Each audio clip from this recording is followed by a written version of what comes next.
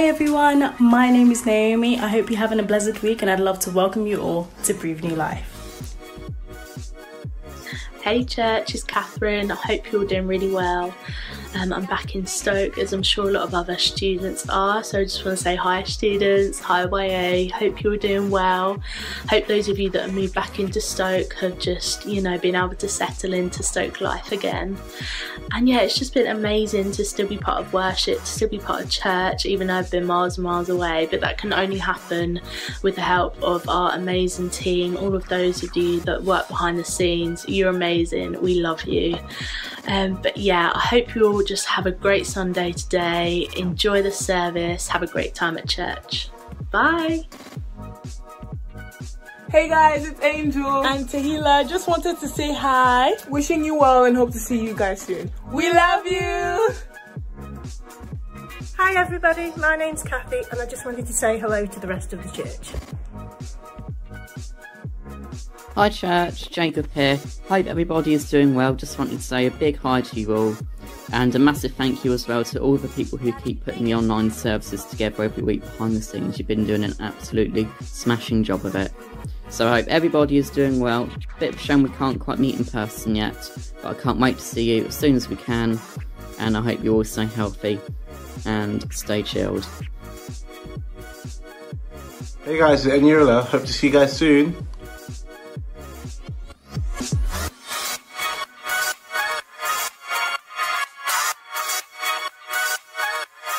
Good morning. Uh, thanks for joining us here at Breathe New Life online. If it's a Sunday morning for you, hope you're sitting there and having a great cup of coffee or tea. If it's another time, then thanks for joining us. We really do appreciate it.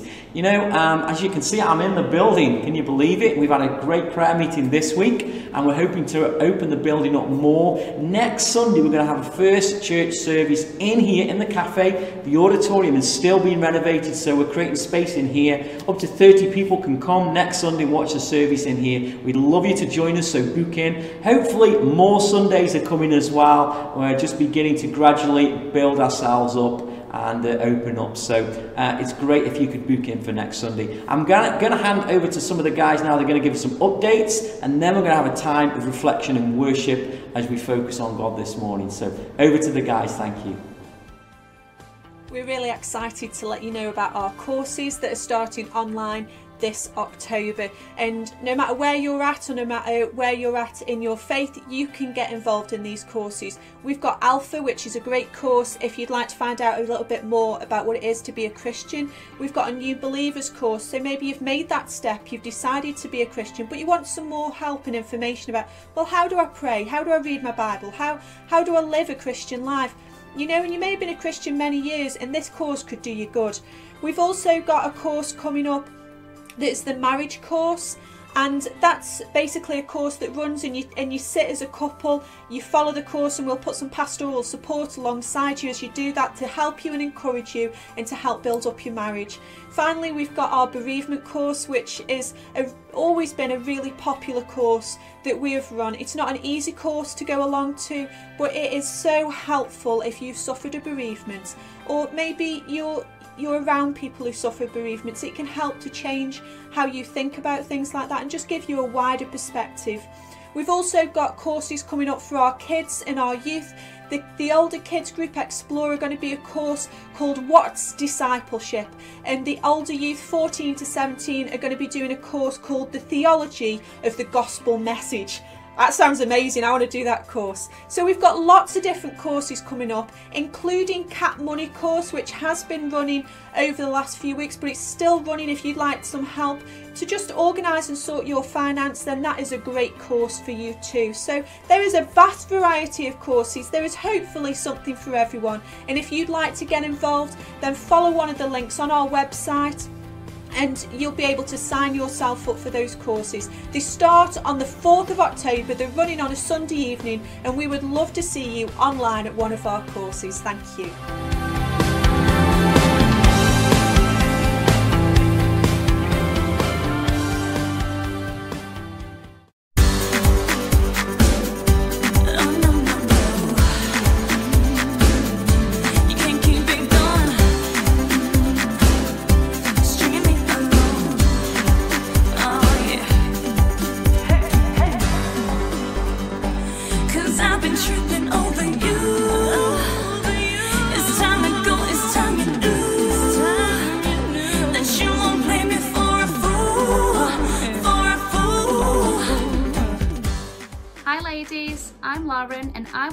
Personally invite you to our next ladies event on Tuesday the 6th of October at 7.30.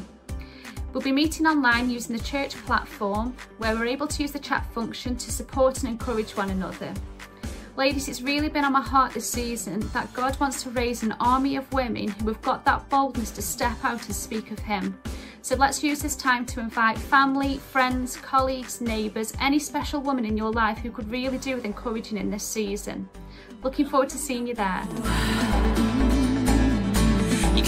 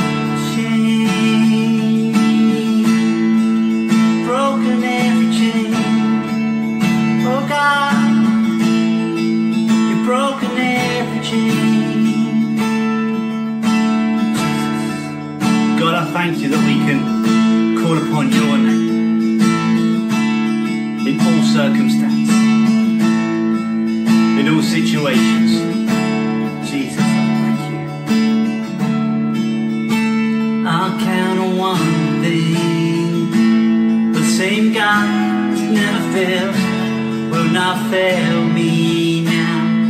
You won't fail me now in the waiting. The same God who's never late is working all things out. You're working all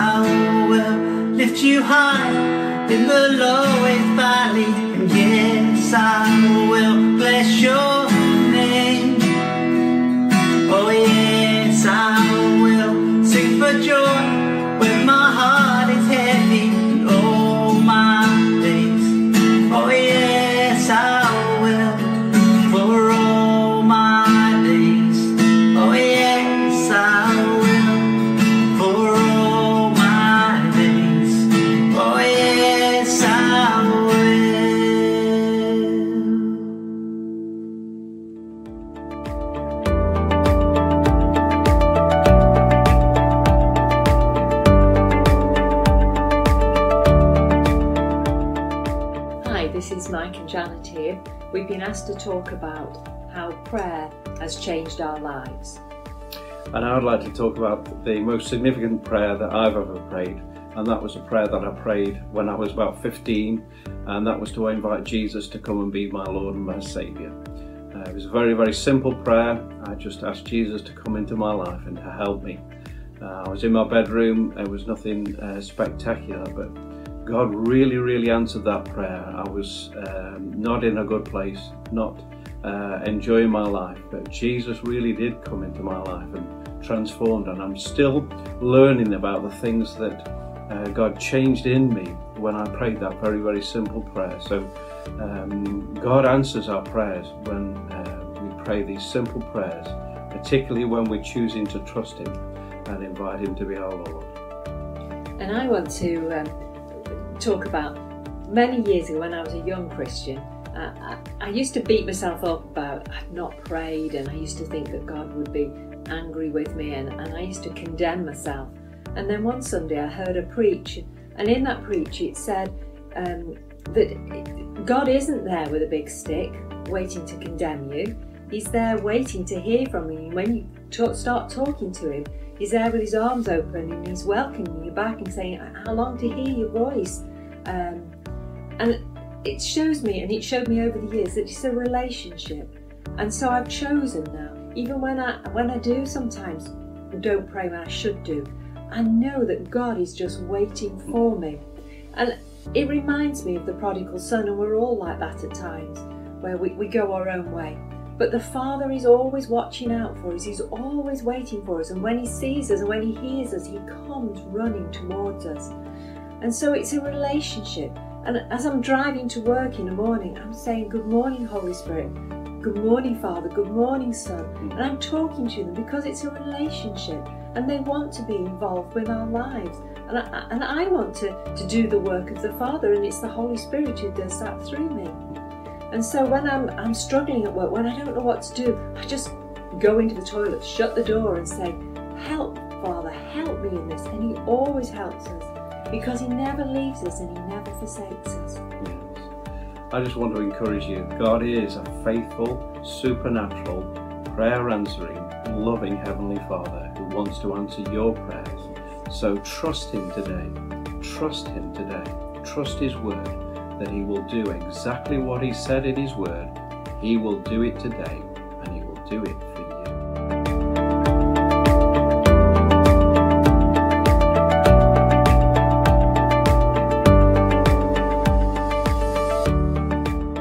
That, Mike and Janet. You know, we've been spending uh, a month on prayer, and uh, this week we've had a week of prayer and fasting. And this morning we're going to now conclude uh, our series on prayer. And we've got special guests with us this morning. I'm excited to introduce you to Luke and Amanda Eicher. They're, they're from America and uh, from a, a, small place called Sturgis in uh, Michigan. And uh, they, they lead a great church called Grace Sturgis. And, uh, you know, they've done a great message for us this morning, and we're really blessed to have them with us. We love them lots, they're friends. They're also part of a church which is part of a network which is Life Links that we're a part of, and uh, we made some great connections, and these are a great couple. And they're going to bless us this morning with a message on prayer. So over to Luke and Amanda, and uh, encourage you to open your heart and uh, let God bless you this morning. Good morning, Breathe New Life Church. Pastors Luke and Amanda Eicher here from Grace Sturgis in Michigan. And thank you to Paul and Sarah Jukes. It's yes. a pleasure to be with you, you sharing this morning with you as you talk about prayer and wrap that up. You know, a lot of us have rhythms, we have habits, we have things that are established in our lives. You get up, you take a shower, you brush your teeth, get dressed, get ready, maybe you, you check out the news, teeth. eat breakfast. We hope you do you a lot of those things on a daily basis. And prayer is one of those things that we want to incorporate into our lives on a daily basis. But before we do that, one of my rhythms, probably daily, for sure at home, but coming to our local coffee shop is a regular rhythm for me. So I'm gonna get a coffee and then we're gonna go on a journey as we look at what James has to say about prayer, about the story of Elijah, and go on a prayer journey with you this morning. Come with us.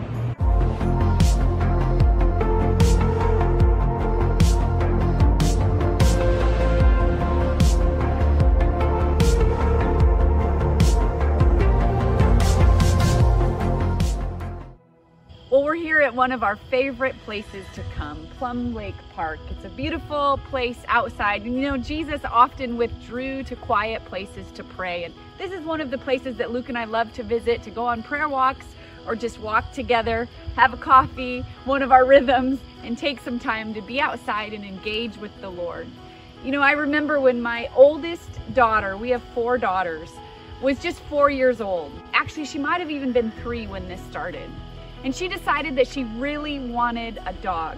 Now, I was pregnant for kids for a lot of years. We had four kids, four and under. And so when Elena was just three and a half, um, and then into four, she really wanted a dog. And we said to her, you know, we're not in any spot to have a dog. We're still having babies. It's a lot of work. We're not sure we want that. But, but our daughter had been taught to pray.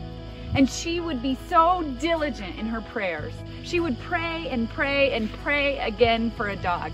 And as I watched this unfold, as the months went by, I realized that she had a rhythm of prayer that was more than I probably even had in my own personal life. You see, Elena would pray in the morning, right when she woke up, Jesus, give us a dog. She would pray while she was playing with her toys. She would stop, run to her bedroom, shut the door, come out after a few minutes, and I would say, Elena, what have you been doing? And she said, oh, I was, I was praying for a dog. She would pray at bedtime and have us pray for a dog with her. Again and again and again, she prayed. And I was pregnant for my last child, and I, I had Maya. Elena was four at the time, almost five. And after we had Maya, Luke and I started to soften our hearts a little bit to the idea of a dog. Maybe that was her prayers that did it. And, and we started to even look at shelters, and Elena caught wind of that. And Elena started to hear us say a few things, and so she made a list of things to pray, specific things to pray about a dog. She had heard us say that we want a dog that doesn't shed. So she had that on her list, a, a dog that doesn't shed. She heard us say that we wanted it already to be potty trained because I was potty training enough kids. I didn't want to add a puppy into that list. She heard us say that we wanted it to be a little dog, a female, already fixed, already have its shots. And she just had this list that kept growing. She wanted a Shih Tzu, she wanted it to be a female, and she even said, and I want her name to be Lola. Well, every day, again and again, she would pray this list. And finally, we were looking at shelters. We had decided, okay, we're gonna get a dog. We were looking at shelters to adopt a dog. And I remember seeing pictures of dogs and reading descriptions and thinking, this one would be a good fit for our family. It's not necessarily what Elena has been praying, but this could be a good fit. And I would show it to her. And Elena, with such faith and commitment, would say, no, that's not our dog, mom. That's not our dog. Her name's not Lola. It's not a Shih Tzu. She's not little. And she would say all the things that were on her list again. Luke and I even tried to say to Elena, you know, sometimes God doesn't always answer our prayers specifically. Sometimes it's not exactly what we asked for. And she had such a faith. No, it's going to be Lola. Once she even cried when I showed her a dog that we were thinking of adopting because it wasn't Lola. Well, we finally just put the search on pause because we didn't know how to help our little girl who had faith so big process what could happen and how it might not be exactly what she had prayed for. But one night I was laying in bed, Luke was already asleep, and I just decided to look again. And when I looked again, a homeless sh or a, a shelter popped up, not a homeless shelter, a dog shelter popped up. And here was a new picture of a dog, and it looked exactly like the dog Elena had been praying for. I read through the description, and to be honest, it was like I was reading her prayers that she had prayed day after day for over a year. A small dog, likes to cuddle, female, already has had her shots fixed. And the kicker for me was when they said the name of the dog, Lola. Tears immediately came down my cheeks as I lay in bed, realizing that God had specifically answered our daughter's prayers. You see, Elena's powerful and effective, diligent, committed prayers came through. God came through. And when I looked again and realized that her prayers had been answered, I couldn't help but reach out to the owner of the, sh- the shelter and say, You're not going to believe this, but my little five year old has been praying for over a year for this dog. I even asked her, How does this dog have the name Lola?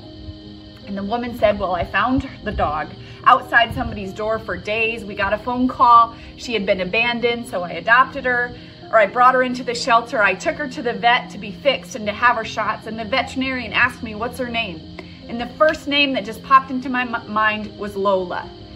Isn't that the Lord? Well, this morning we want to talk about those faithful, effective prayers.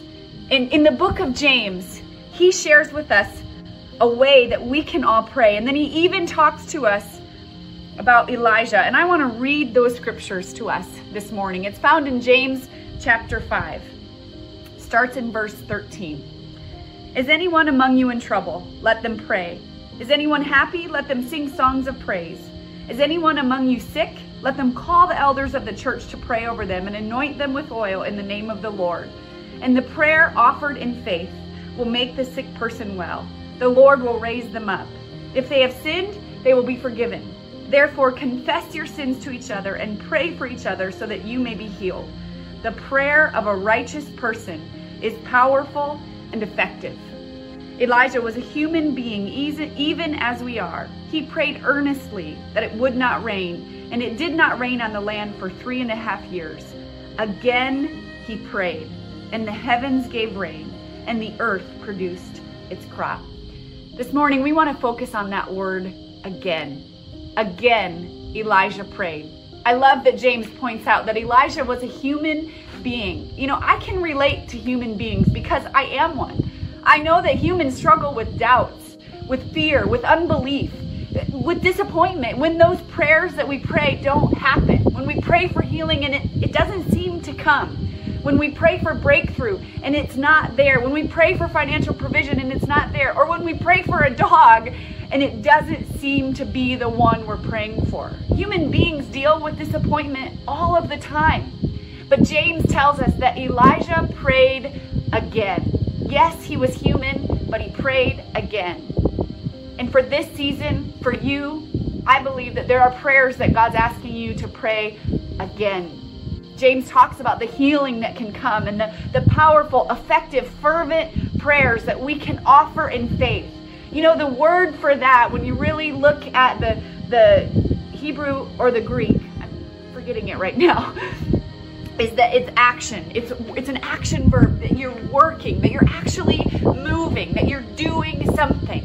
And, and that's the type of prayer that God and James are asking us to pray. Pray in faith. Pray and believe that there's action to it. Pray again. Even though you're human, even though you've struggled with some disappointments or some heartache or some loss, pray again. And the story that James is talking about is a story when Elijah prayed for rain. You see, Elijah had been the one that prayed that it wouldn't rain for three and a half years.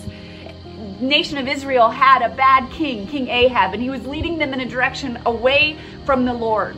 But the Lord came to Elijah and he said, Elijah, it's time for rain. Go and tell King Ahab that it's time for rain. So Elijah went. this is found in 1 Kings chapter 18. Elijah went to Ahab and, and there was a little showdown between the prophets of Baal and, and Elijah. And Elijah even boasts and says, My God can call that can bring down fire from heaven. And, and sure enough, God brings fire from heaven as Elisha prays, and, and all of those prophets are slaughtered. It's quite the story. But after that, Elisha says to Ahab this.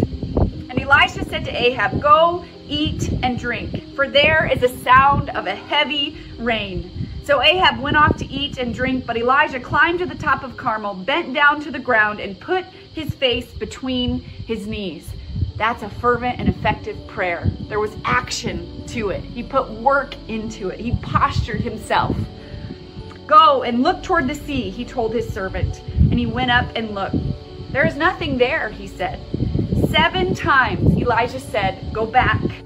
The seventh time the servant reported, A cloud as small as a man's hand is rising from the sea. So Elijah said, Go and tell Ahab, hitch up your chariot and go down before the rain stops you. Meanwhile, the sky grew black with clouds, the wind rose, a heavy rain started falling, and Ahab rode off to Jezreel. The power of the Lord came on Elijah, and tucking his cloak into his belt, he ran ahead of Ahab all the way to Jezreel. Seven times Elijah prayed. Seven times. Again and again and again.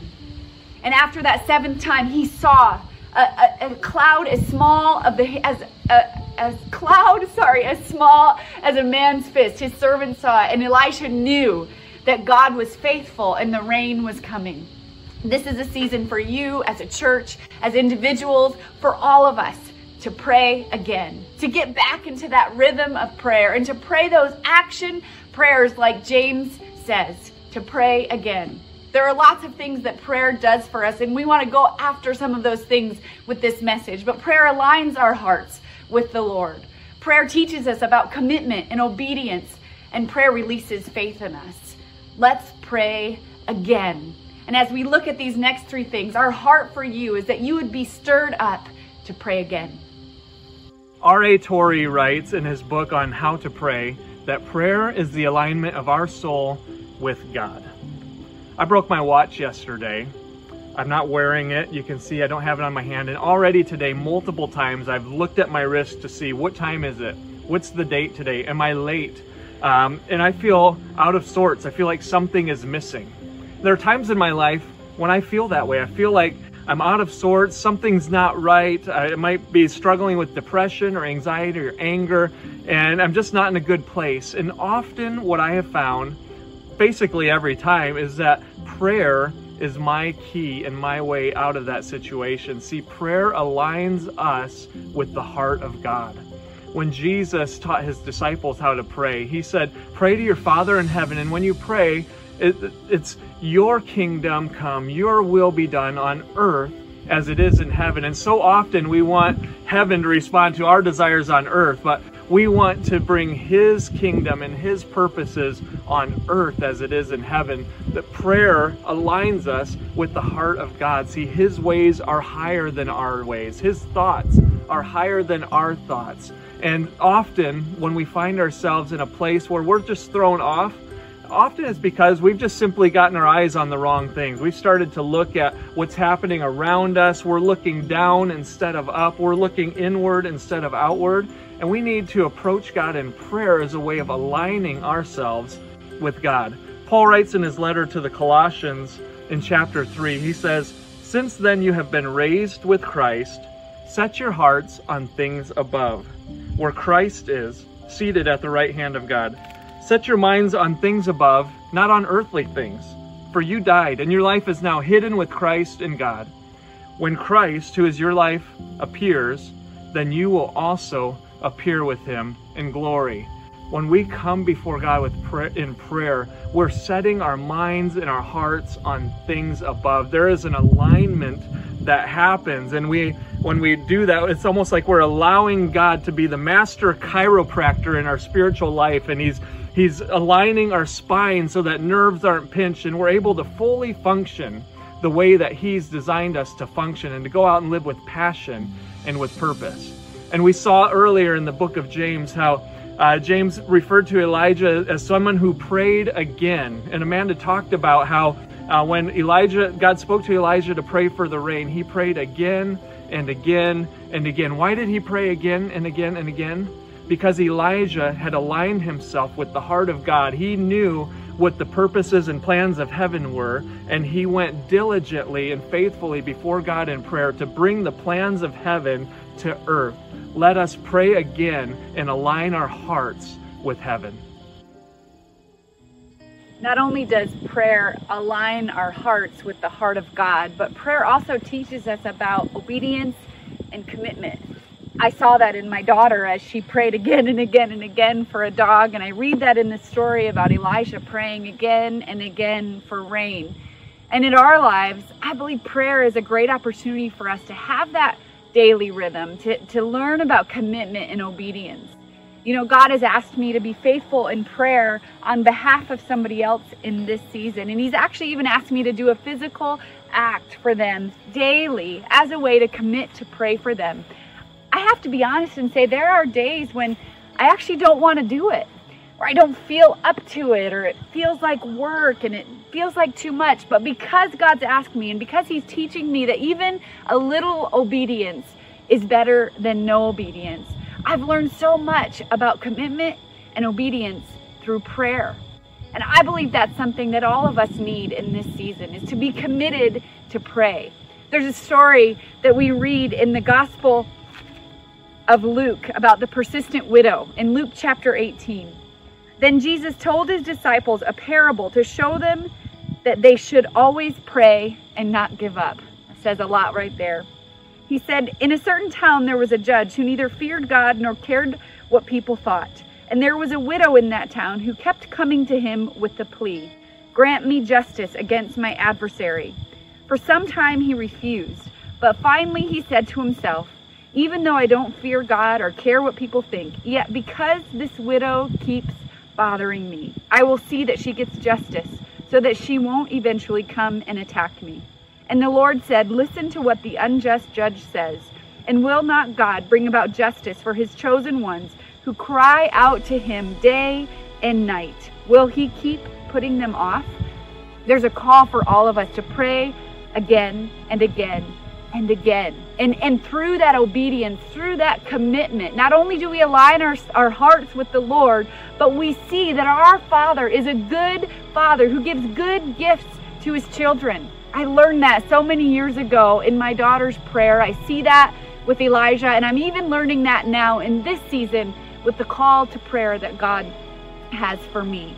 If we can go to the Lord with obedience and pray again and again. You know, the thing I loved about Jesus and what he modeled for us is that his prayer life wasn't religious.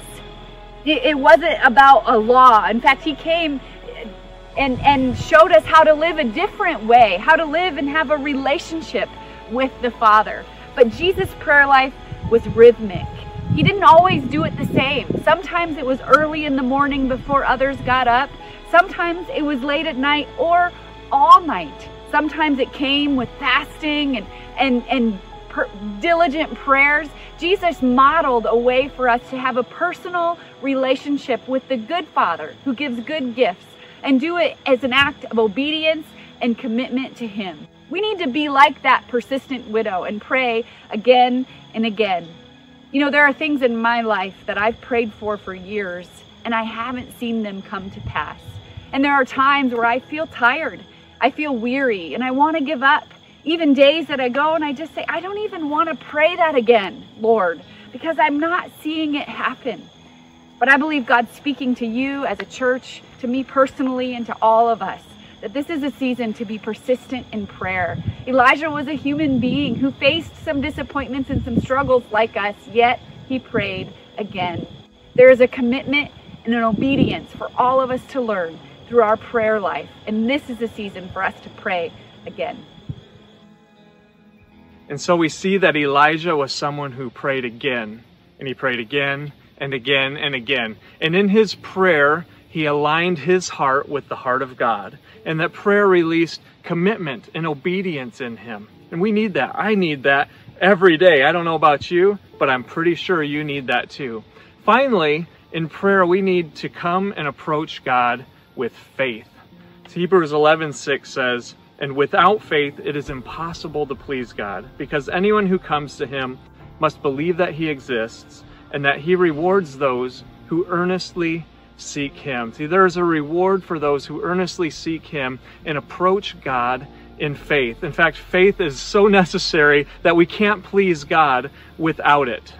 When I was young, 10 years old, my mom got the diagnosis that she had cancer. And as a family, we all met together, and my parents did a really good job of explaining to us uh, what the situation was but of also leading us to say we are going to be a family of faith. We're going to pray for mom. We're going to believe for her healing. And so I remember as a young boy, nightly prayer meetings in our home where we would stomp on the head of the devil and we would declare mom's healing. And we believed as a family that my mom would be healed. Well, the difficult thing is my mom wasn't healed, not in this earth anyway. She passed away just before I turned 11 years old, and that was really difficult for me. See, when our prayers are not answered the way that we believe and we hope that they'll be answered, that can rob our faith. We can begin to hear the enemy whisper into our ear and say, You don't you don't need to have faith in God. God's not going to answer your prayer anyway. And the enemy tries to use that to divert us away from Him and to discourage us from living a life of prayer. And that was a real battle that I had to walk through during my. Uh, my formative years as a young man, as I was becoming a teenager and growing up, wrestling with faith. And what do I do when faith and reality collide? And when you believe for something, but yet you don't see the answer that you were hoping for uh, to your prayers. And I really wrestled it through, and God spoke to me and showed me how He's present in my life from the very beginning, and how uh, just because I went through hard things, I also was able to see that God was there with me in those hard things. And He gave me the strength and courage to continue walking through those hard things. In my 30s, my stepmom got a diagnosis that was not a good diagnosis. She was dying of liver disease. And I remember the moment when I had to wrestle with God in prayer. Will I believe for her healing again? Will I pray with faith? Will I give it everything I've got? Will I come to God in faith as I pray for my stepmom? It was a difficult wrestle that I had in prayer, but I remember that coming to that place where it's like, I am going to believe God and I'm going to give it everything I've got in prayer. And so once again, we began this journey of praying for my stepmom, of believing for healing, of declaring things in faith, and coming and rallying together as a family. And my stepmom also passed away of liver disease.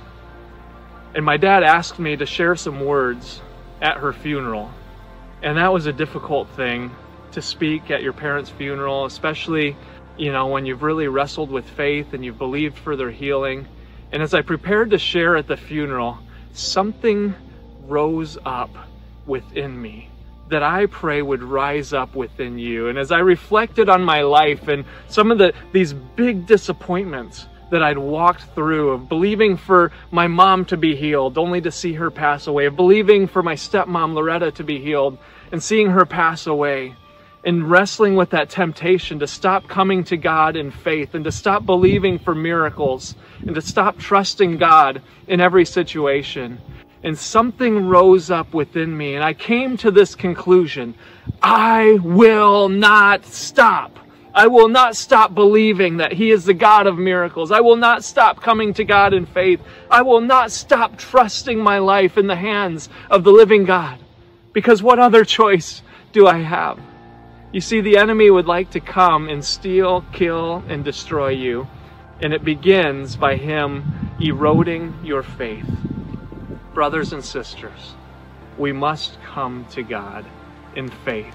And I believe that God wants to encourage you, even in your disappointments, to rise up in faith, to continue to press into faith, continue to pursue Him and believe again. Some of you need to believe again. And I pray that God would give you the courage today to begin to believe again. In Acts chapter 12, we see the story where Herod, King Herod, seized some of the disciples to persecute them. And it says that he had James, the brother of John, put to death by the sword. And when he saw that that pleased the Jews, he seized Peter as well. And we see here in Acts chapter 12, it says, So Peter was kept in prison but the church was earnestly praying to God for him. And we go on to read about this miraculous escape that Peter had from prison as an angel appeared to him and led him through the prison gate, the gate swinging open all by itself. And it's this incredible rescue story. But I think sometimes we forget what it must have been like to be a part of the church in that day, in that season. See, the church, no question, was praying for James. They knew that James had been seized and that he was on death row, and they prayed for James to be delivered. And yet James was put to death by the sword. And the temptation certainly must have been there for them to give up and to say, God's not answering our prayers on this one. But it says that the church was earnestly praying for Peter as well. They didn't give up because they saw disappointment. They continued to pray. And we see the incredible rescue story of Peter as the angel delivered him from prison and answered the prayers of the church. Let's not give up in prayer. Let's not give in to disappointment. Let's continue to be people of faith in our prayers. Elijah prayed again. And that's our cry for all of you. That's our heart for you in this season. As you've gone on this journey in this series of prayer and you've learned about prayer in so many different ways, our heart for you is that you would pray again and again and again. That powerful, effective prayer, a prayer that aligns our heart with God, a prayer that releases commitment and obedience, which we all need, and a prayer of faith, even in the disappointment. We want to pray with you, and we know that God has a great journey of prayer that He's already begun in you and He will bring to completion. Would you pray with us? Yes, Lord, we just thank you for Breathe New Life Church and everyone who's a part of it and anyone else who may be watching this message online.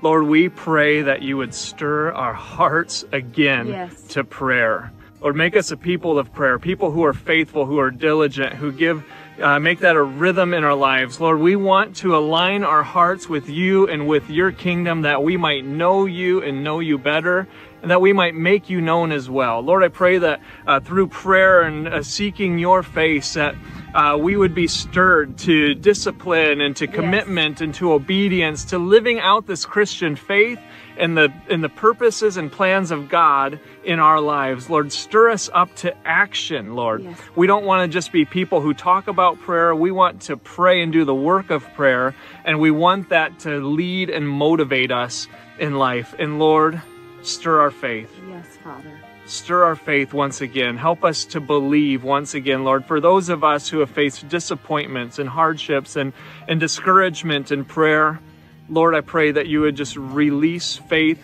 in us now. Yes. In Jesus' name, we reach out and we grab hold of that seed of faith that you have for it and we plant it in our hearts and we, we just pray that you would water it and cause it to grow. In Jesus' name, Lord, move in us, stir up the gift of faith Yes, within us. In Jesus' name, Lord, we pray your blessing, your calling, your plans and purposes uh, over everyone who's a part of this uh, video message today. And Lord, we just pray that you would raise us up a people who pray again. Amen. Amen. Well, God bless you. We love you so much. Thanks for letting us be a part of this day with you. And uh, hope to catch you again sometime in person in the future.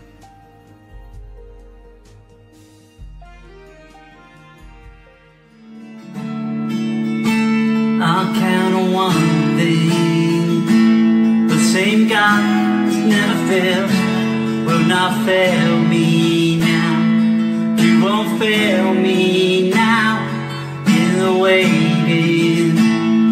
The same God who's never late is working all things out. You're working all things out. Oh yes, I will with